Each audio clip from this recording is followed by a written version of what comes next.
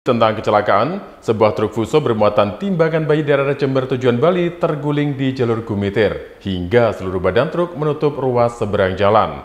Naasnya, dalam laka itu, seorang pengemudi motor mengalami patah tulang akibat tertimpa muatan truk.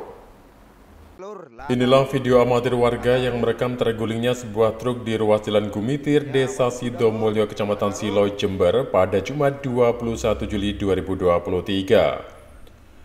Truk berjenis Mitsubishi Fuso dengan nomor polisi P8499VB itu dikendarai oleh Solehin 46 tahun, warga Desa Kabat, Kecamatan Kabat, Banyuwangi. Truk bermuatan timbangan bayi itu mengalami kecelakaan saat melintas di jalur Kumitir Banyuwangi di kilometer 36, tepatnya tikungan letter S Basingo.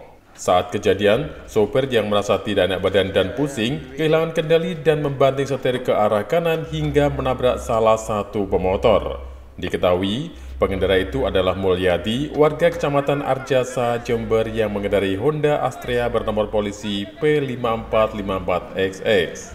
Melihat korban yang mengalami patah tulang kaki kiri, tim relawan dan BPBD serta polisi segera membawa korban ke puskesmas tempat untuk mendapat pertolongan. Akibat peristiwa itu, arus lalu lintas dari kedua arah mengalami kemacetan dan kendala. Guna mengurai gangguan lalu lintas tersebut, aparat kepolisian dibantu warga mengevakuasi truk serta muatannya dan memperlakukan sistem buka tutup arus lalu lintas selama proses evakuasi dilakukan. Baik, dapat kami sampaikan di sini bahwa uh, laka lantas terjadi di jalur Bumitir pada hari ini uh, Jumat tanggal 21 Juli 2023 sekitar pukul 13.00 tepatnya di kilometer 36 eh, jalur Gumitir Desa Sidomulyo Kecamatan Silo yang melibatkan kendaraan truk Fuso dengan nomor polisi P8489V eh, yang bermuatan eh, timbangan bayi dengan tujuan ke Bali kendaraan truk Fuso berjalan dari arah barat atau dari arah Jember menuju ke arah timur.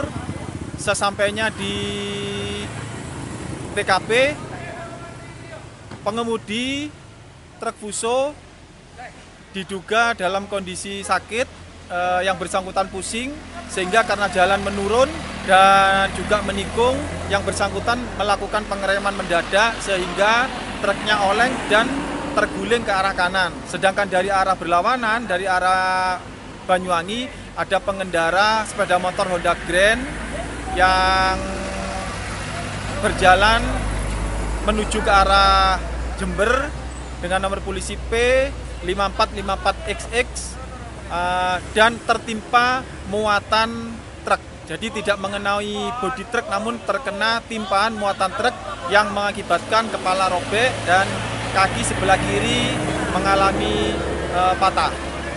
Untuk korban jiwa nihil, hanya korban luka yang dialami oleh pengemudi kendaraan sepeda motor. Sementara masih dilakukan penghitungan oleh uh, pengurus dari truk karena timbangan bayi ini juga di samping tercecer di jalan, juga ada sebagian yang masuk ke jurang jalur Gumitir. Meskipun tidak ada korban jiwa dalam kecelakaan tunggal ini, namun kerugian material diperkirakan mencapai puluhan juta rupiah. Dari Jember, Jawa Timur, Muhammad Saini, National TV melaporkan.